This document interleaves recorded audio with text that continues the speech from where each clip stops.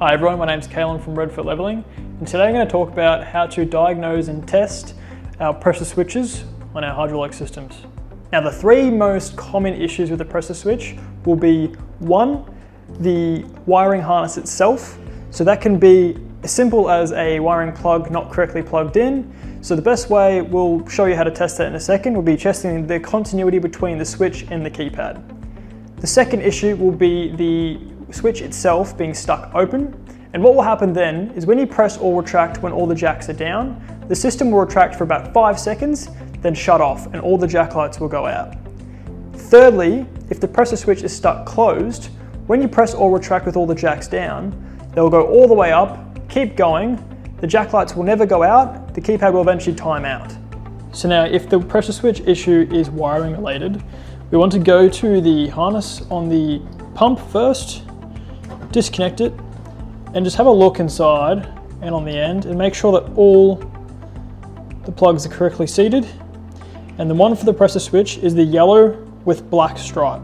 And as you can see, that's correctly in. We'll check the one on this side as well. Yellow with black stripe. That's correctly in. I can see the pin in there. Do the same thing with the plug on the back of the keypad we'll unplug this. As you'll see, yellow with black stripe is this one here. That's correctly in, and I can see the terminal in there. Now we're going to check if the wires have been damaged. So we want to get our multimeter out, put it on continuity.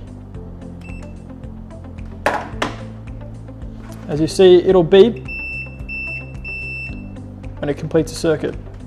So we'll go to one end of this harness, just like that. That's where the pressure switch wire is there, yellow with black, and then go to the side of the harness here.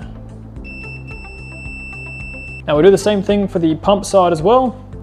So we'll put in the probe into the yellow with black again, and we'll go up here to the pressure switch cable, unplug that, as we see, we got continuity between there as well.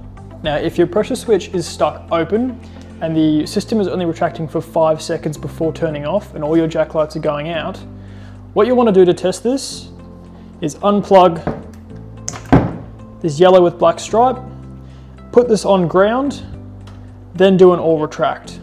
Once you do an all retract, you'll see the whole system will go all the way up, the keypad will time out, and your lights will stay on. That's telling you that your switch is stuck open. Now, if your pressure switch is stuck closed and you're having the jacks go all the way up, but the lights aren't going out, what you want to do, same thing, unplug this, but just leave it unplugged, press or retract. You will see the system will retract for about five seconds, then turn off. Now the reason why we've done that specific testing method is so we can determine if the keypad is at fault or something else in the system. So we've done this test and we can either determine if it's a wiring issue, and if that's the case, you need to repair the wires. If it is a switch stuck open or closed, you will have to purchase a new switch from Redfoot Leveling. If you're still having issues and you can't figure out what's wrong with the system, please give us a call. And that's all. Enjoy back next time for some more tips and tricks.